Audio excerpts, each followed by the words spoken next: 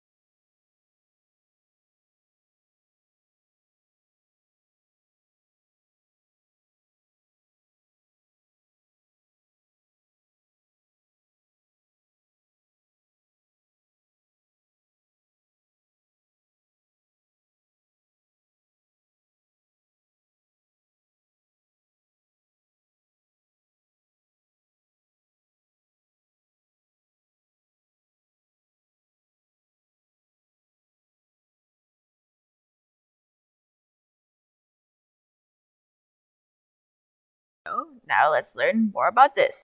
The electrons in the circuit have a direct path to the capacitor, and because there is no resistors, the capacitor fills up with electricity almost instantly, because electrons move at the speed of light. A way to imagine this is that the capacitor is an electron battery that charges and discharges, like a beating heart, which pumps blood throughout the body. Except that in an electronic circuit, you will find multiple capacitors operating at the same time in the average electronic device, you can find hundreds of capacitors. When we press this button here, we open the way to the negative leg, the cathode, so the electrons can go in. Now the capacitor is charged, it will remain charged until we open the anode, the positive leg, which allows it to discharge slowly and fade away slowly as the electrons leave the capacitor. So this is a 16 volt, 1000 microfarad capacitor. If we don't use a resistor with our working components in the circuit, we risk burning those components out. In this case, an LED. The electrons will go so fast through the LED, it will burn out. It is also important that you do not have this capacitor powered with over 16 or more volts, or else it will, um, well, explode. Unless you know what you're doing, you should only use power supplies you have in your kit. Those for sure will not overload the capacitor. To prove this, before we get to our three points, I will burn out our LED, we will take the resistor out and replace it with a jumper wire.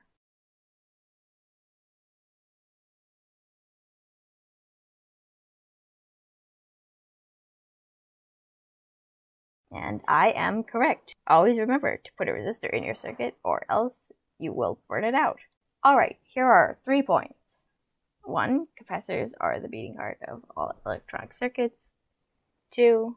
Capacitors have a cathode and anode and must be put in correctly. And 3. Capacitors cannot be overloaded or else you could hurt yourself. The value is written on the side of the capacitor and it must be carefully followed. Always remember, safety first. Thank you for watching and see you next time.